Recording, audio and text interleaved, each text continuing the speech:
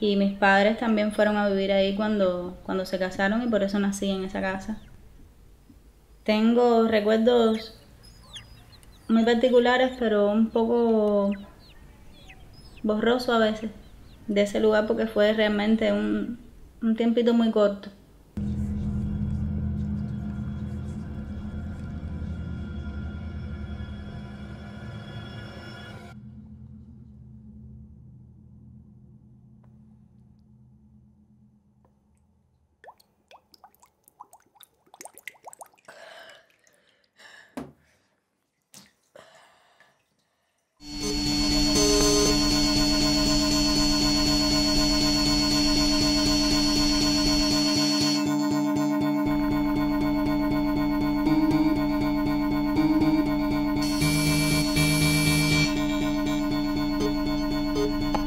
O ministro da Cultura Gilberto Gil e o Caetano Veloso que esse capitão Guimarães se gabava de ter raspado a cabeça dos dois maconheiros que estavam lá presentes.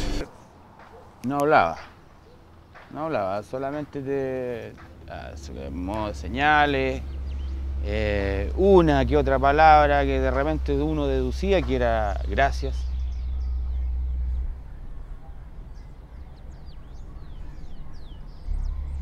Y quedó ahí esperando